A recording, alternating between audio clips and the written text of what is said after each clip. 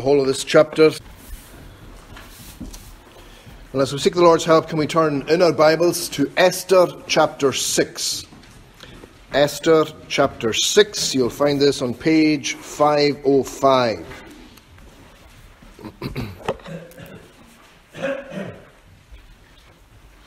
We'll look at the whole of this chapter today, but we can read verse 1, which is the key verse. Esther 6, verse 1. That night the king could not sleep. So he ordered the book of the Chronicles, the record of his reign, to be brought in and read to him.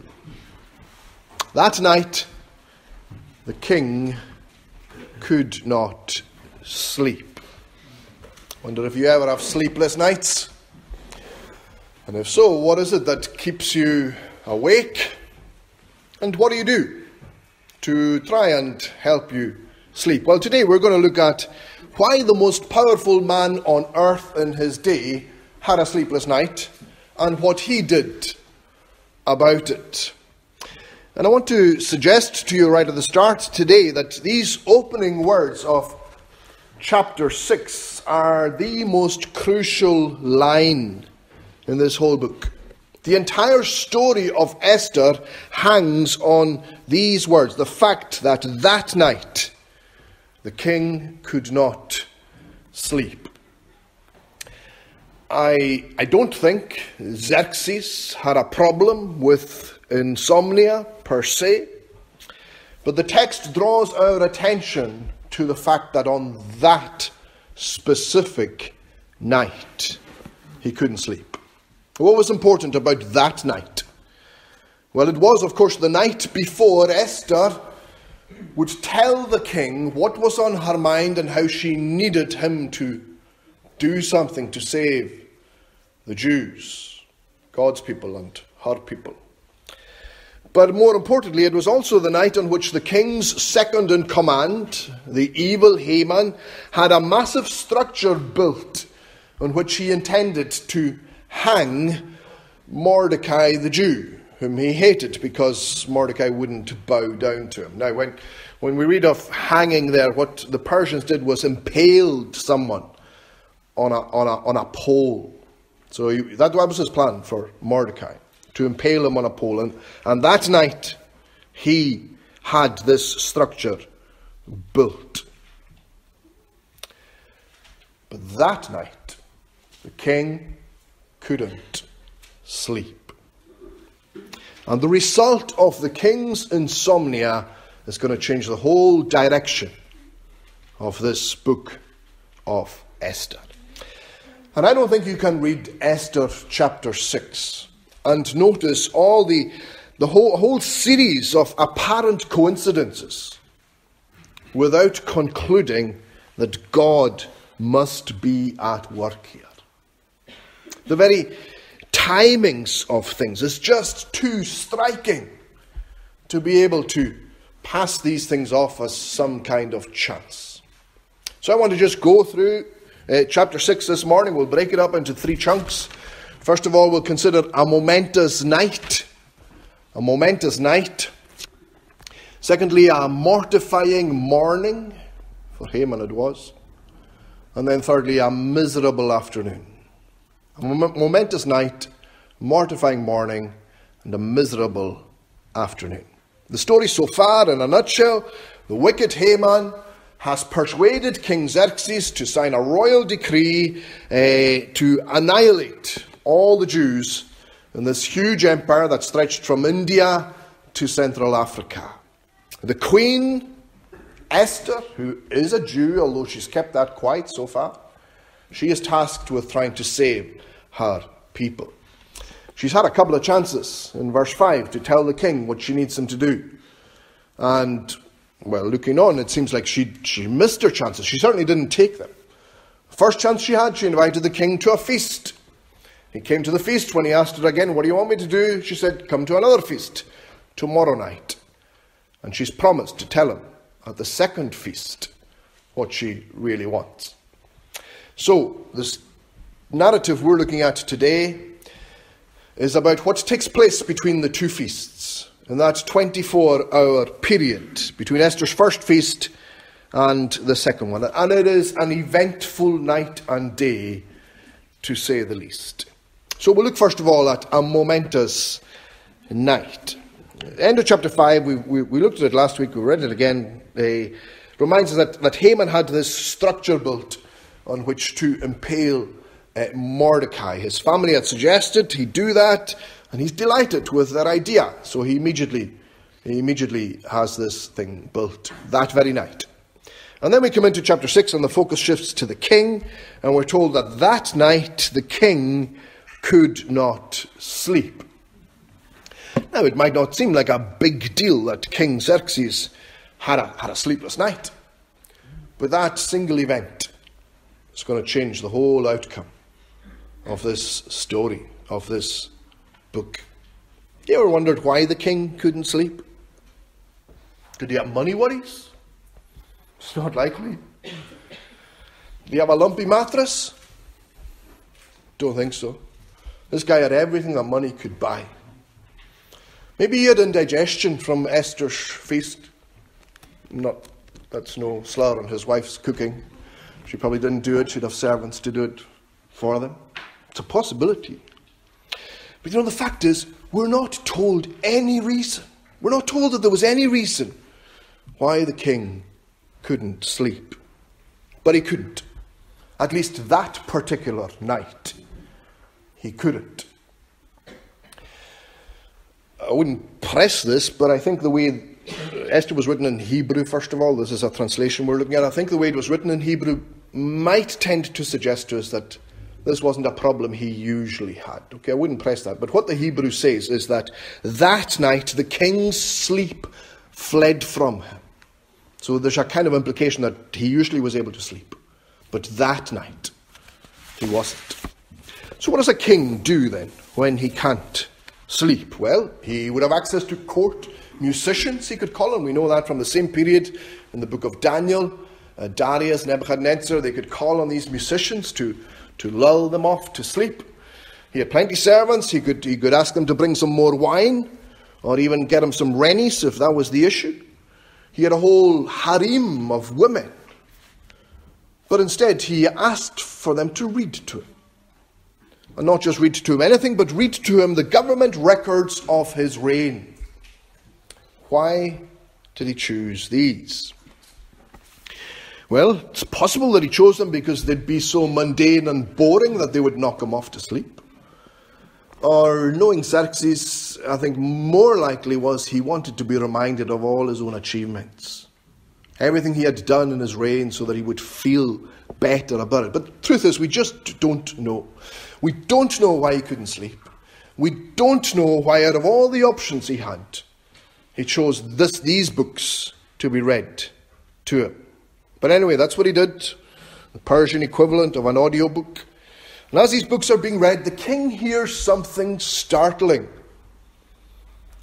He hears that Mordecai saved his life back in the day. There was five years since that had happened. Now, you might think surely he hadn't forgotten that there was a, a, an attempted assassination.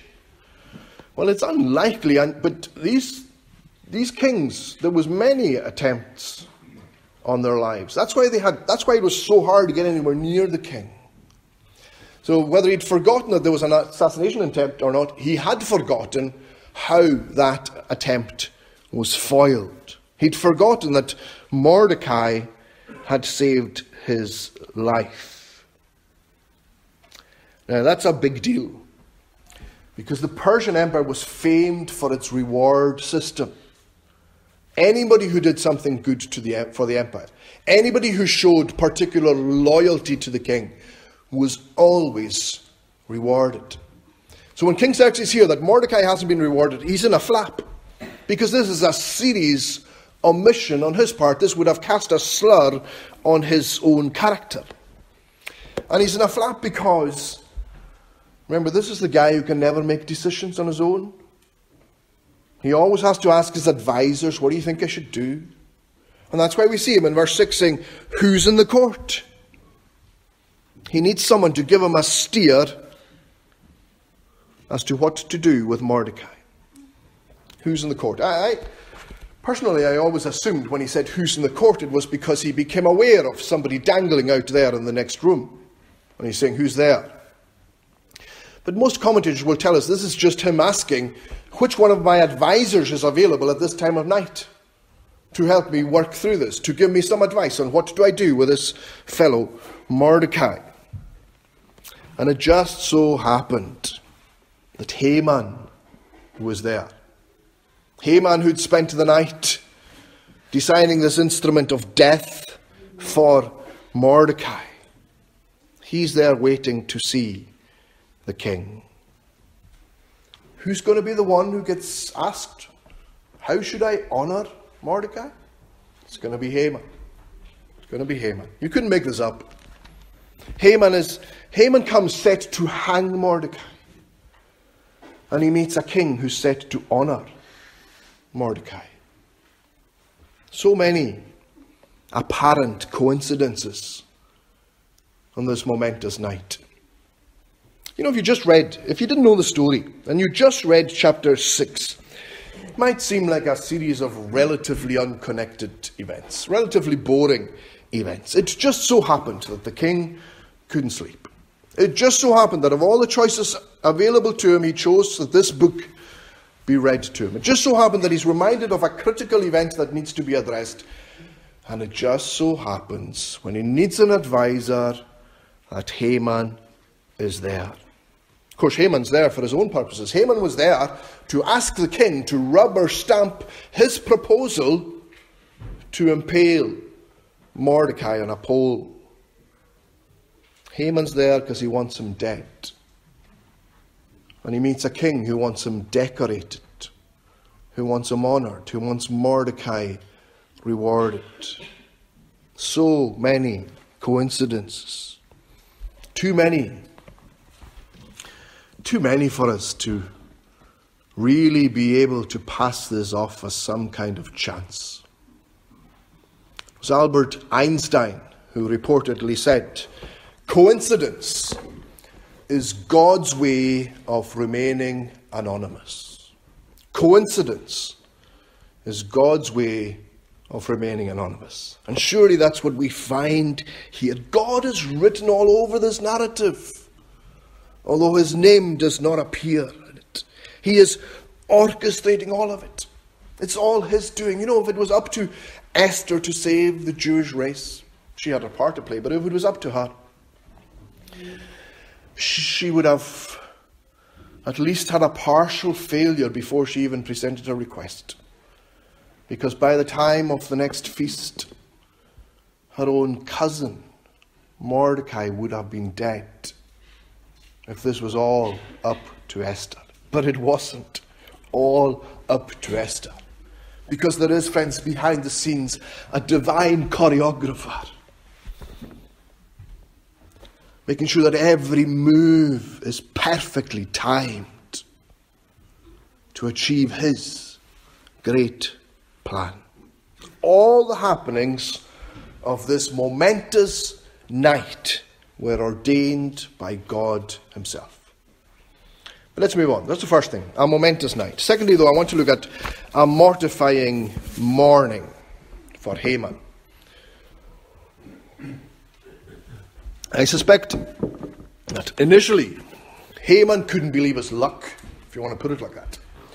He, he turns up early, wanting to, to beat the queue, uh, to see the king, and he's only just arrived when the king invites him in uh, for an audience. And before he even has a chance to speak, it seems like his day is going to get a whole lot better. Because the king says to him, What should be done for the man the king delights to honour. And you know, if you're as proud as Haman, the whole world revolves around you. And Haman, we're told, immediately thinks, well, who else? who else would the king delight to honour more than me? That must be me. And so Haman, blinded by his own arrogance, suggests the highest honour that he can come up with in the moment. In fact, he's so excited, he, he omits the usual common royal courtesy of you would say something like, if it, if it pleased the king, and if I found favor in his sight, and then say what you've got to say. He just launches in and he tells the king what should be done to the man the king delights to honor. He should ride on the king's horse, he should wear the king's robe. One of the king's nobles should lead him through the city and, and proclaim repeatedly, This is what is done to the man whom the king delights to honor. And there we see, if we had any doubt about it, what makes Haman tick, what this man lives for. He didn't ask for riches. He didn't ask for power. He wanted public adulation, adulation and admiration. He wanted people to look up to him. He wanted people to praise him. He wanted people to honor him. That was Haman's God. And as you read down through the narrative into verse 10, you can almost hear Haman's jaw hit the deck. As King Xerxes says, Go then, do all of this to Mordecai. Eh? Seriously? He must be saying to himself. Are you for real, King Xerxes? Yet the king's command is crystal clear. In fact, there's three aspects to it. There's three things the king says to him. He says, Do this immediately do everything that you have said. And just in case he doesn't get it, don't leave out anything that you have recommended. Oh boy. Haman's pride evaporates in that very moment. He realizes that he's been tasked with honoring the man that he wanted dead. And he's He's the equivalent of Prime Minister Haman. He's the second most powerful man in this empire. And his plans go pear shaped. All because the king couldn't sleep. Just think about this from Mordecai's point of view for a moment. I don't know how well connected Mordecai would have been. Would someone have tipped him off that Haman planned to have him killed that day? Would he have heard about this massive gallows that was built? It had his name on it. And then, first thing in the morning, Haman comes looking for him. What's the man to think? The last thing Mordecai would have expected was to be clothed in a royal robe and to be ridden on a royal horse and to be publicly honored. And yet, that's what happened. But all the humiliation for Haman as he leads Mordecai through the city streets on, on horseback, continuously having to, to repeat that phrase. This is what is done to the man the king delights to honor. Mordecai must have been, we're not told anything about him, he must have been bemused by it all. His arch enemy promoting him like this. You wonder if he was tempted to lean forward and say, Can you say it a bit louder? Haman? Don't think these folk over there, don't think they heard. We're just not told. But Haman is mortified. We're told that in verse 12.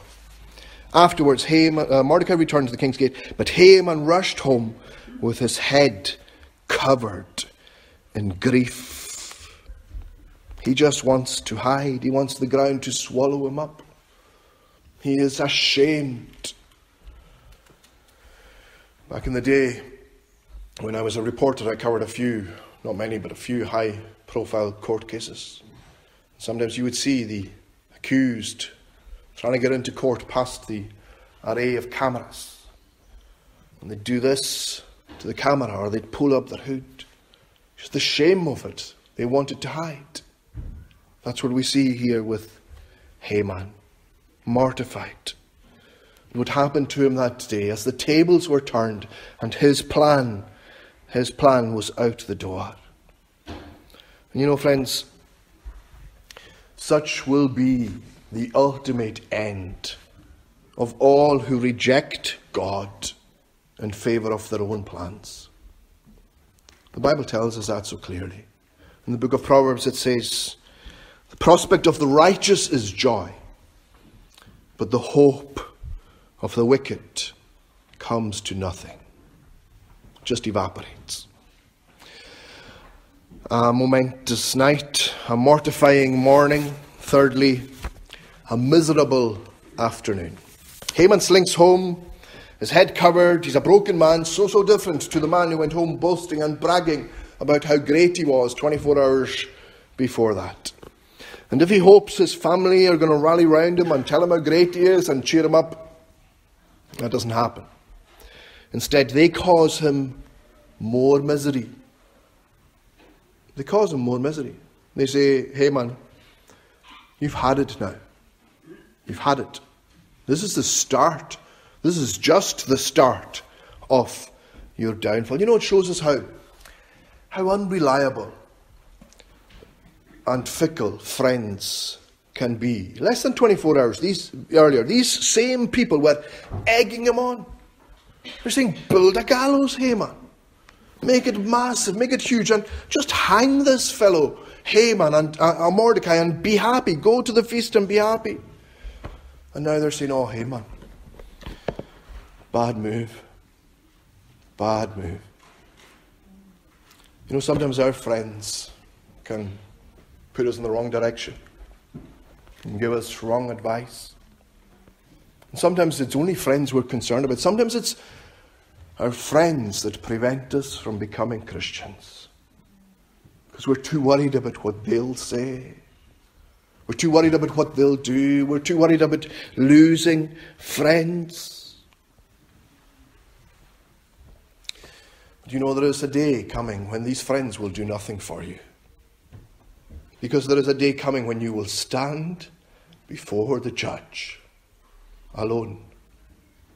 Alone. And just as happened here with Haman's friends, they were the ones who condemned him in the end. When we stand before God and God has to ask us, who came first, me or your friends?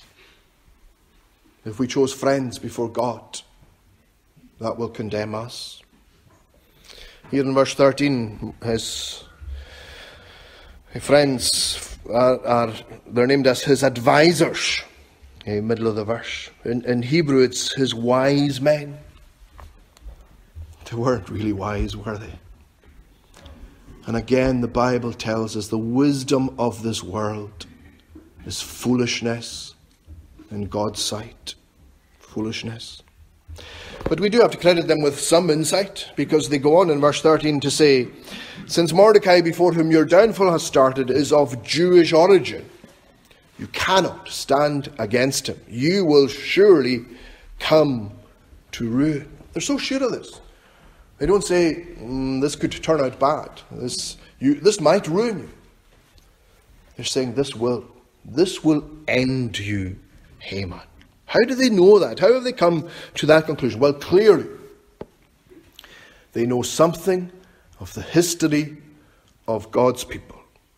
They must be aware of how God enables his people to overcome their enemies. You know, when, when God first promised Abraham, way back in Genesis 12, that he would become a vast nation with, with descendants as numerous as the sand on the seashore, he said this to him Genesis 12, verse 3 I will bless those who bless you, and whoever curses you, I will curse. You see, it's a dangerous thing to make an, a Christian your enemy because God cares for his own. Psalm 105, God says this Do not touch my anointed ones. That's a reference to his people and to the fact that God will protect his people. A miserable afternoon. Haman started off this day delighted, and yet he gets more and more depressed as it goes on. And if you read into chapter 7, his evening's going to get a whole lot worse. We'll look at that, God willing, next time. But you know, the life of Haman teaches us this that if you rebel against God, and despise God's people, it's not going to end well. It's not going to end well. Mordecai, by contrast, the believer here, He's presented to us in this chapter as the man whom the king delights to honor. The man the king delights to honor. Haman, Haman would never have dreamt of honoring Mordecai. But he was forced to. He was left with no choice but to do so. And if we were to ask today, who is the man the king delights to honor? It's none other than Jesus. We saw a few weeks ago in Andrew's Mark series. This is my beloved Son, in whom I am well pleased. God's voice from heaven in another place. This is my, my chosen one. Hear him. Jesus is the one the King delights to honor. And yet today you may be reluctant to do that. You may be refusing to do that. You may be digging your heels in today and saying, I don't want this man to rule over me. But the Bible says there is a day coming when every knee will bow and every tongue confess that Jesus is Lord. Better to bow willingly while you have opportunity than to be bowed when it is too late. Haman was on a downward spiral. A momentous night led to a mortifying morning, followed by a miserable afternoon. And that very night, Haman's life would end. He was a man who had everything in life but nothing in the face of death. Don't make the same mistake as Haman. Let's pray.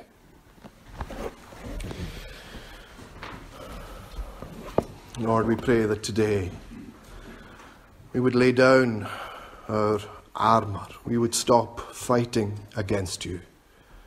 We pray that today we would submit our lives to Jesus who is the man the King delights to honour. We pray that today, Lord, we would realise that we need him more than anything else in this world. Help us to trust you. We ask this in Jesus' name. Amen.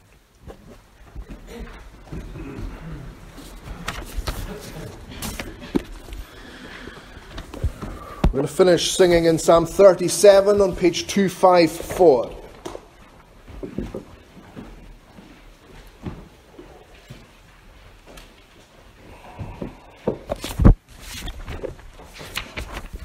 Psalm 37, page 254, uh, at verse 23. We're singing from verse 23 down to 28. The tune is Farningham.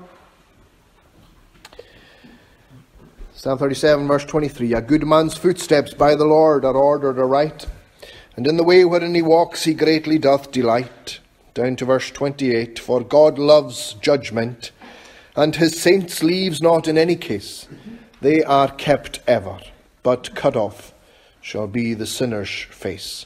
From verse 23 to verse 28 of Psalm 37, the tune is Farningham.